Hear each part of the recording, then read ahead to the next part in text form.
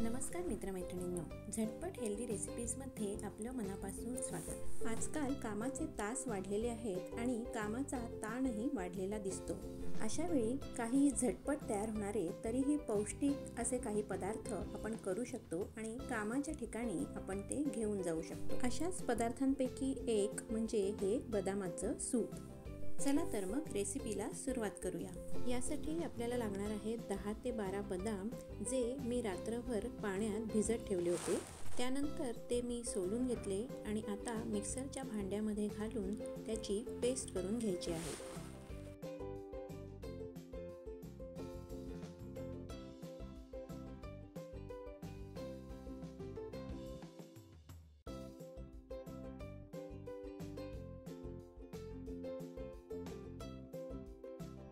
याशिवाय आपल्याला लागणार आहे एक तमालपत्र छोटा दालचिनीचा तुकडा दोन वेलदोडे आणि एक छोटा आल्याचा तुकडा.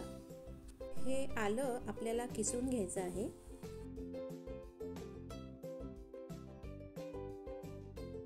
आता पुढची स्टेप म्हणजे या सुपासाठी लागणारा अर्क आपल्याला करून घ्यायचा आहे. हा अर्क किती बनवायचा हे आपण आपल्या गरजेप्रमाणे ठरवू शकतो. इथे एका पातेल्यामध्ये मी आठ कप पाणी घेतलेलं आहे. मी आता त्याच्यामध्ये टाकणार आहे तमालपत्र दालचिनी वेलदोडा आणि किसलेलं आलं. हे पाणी मी मध्यम ते मोठ्या आचेवरती साधारण पंधरा ते वीस मिनटं चांगलं उकळून घेणार आहे. हे पाणी आपल्याला चांगलं उकळून आटवूनही घ्यायचं आहे. साधारण ऐंशी टक्के आपल्याला आटवून घ्यायचं आहे. आधी आठ कप पाणी होतं ते मी सहा कप होईपर्यंत उकळून घेतलेलं आहे. आता हा आपला अर्क तयार आहे. मी गॅस बंद केलेला आहे आणि आता अर्क थंड झाल्यानंतर मी तो गाळून घेतला.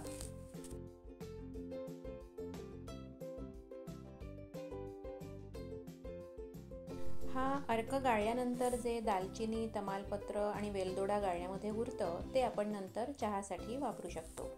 जेव्हा सूप बनवायचं तेव्हा लागेल तसा तेवढा अर्क घ्यायचा आणि उरलेला अर्क आपण बाटलीमध्ये साठवून फ्रीजमध्ये ठेवू शकतो.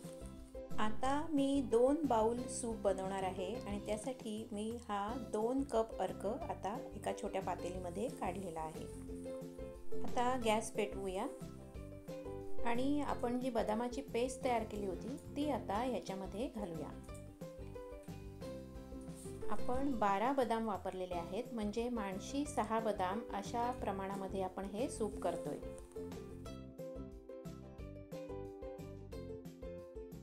या सुपाला उकळी येऊ लागली की मग त्याच्यामध्ये मीठ आणि काळी मिरी पावडर घालायची आहे.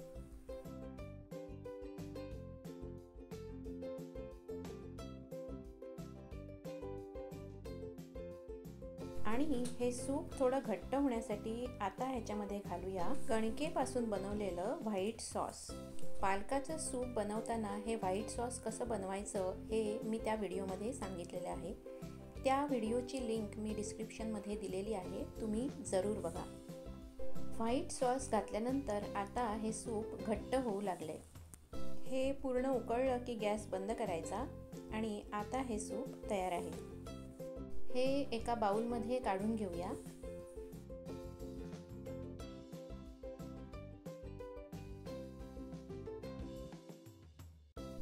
आणि सजावटीसाठी थोडी कोथिंबीर वरून घालूया. आणि आता हे बदाम सूप तयार आहे. व्हिडिओ जर आवडला असेल तर लाईक करा शेअर करा. आणि हो चॅनलला अजून सबस्क्राईब केलं नसेल तर जरूर सबस्क्राईब करा. पुन्हा भेटूया अशाच एका झटपट हेल्दी रेसिपीसोबत तोपर्यंत हेल्दी खा हेल्दी राहा.